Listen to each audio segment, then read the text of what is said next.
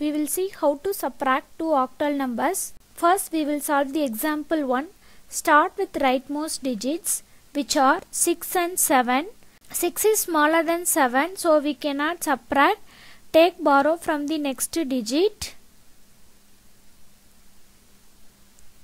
In octal number system the base is 8 so the borrow is 8. Already we have 6. 8 plus 6 is 14. 14 minus 7 is 7. 5 has given the borrow. So the 5 will become 4. 4 minus 5 we cannot subtract because 4 is smaller than 5. Take borrow from the next digit. Already we have 4. 8 plus 4 is 12. 12 minus 5 is 7. 3 has given the borrow. So it will become 2. 2 minus 1 is 1.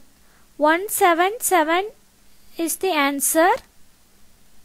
Next we'll solve the second example. Start with rightmost digits which are 1 and 7. 1 is smaller than 7 so we cannot subtract. Take borrow from the next digit which is 0. We cannot get the borrow.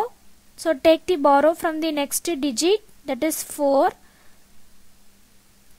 We'll get a borrow as 8. From this 8 get borrow. This 8 has given the borrow so 8 becomes 7. 4 has given the borrow then 4 becomes 3.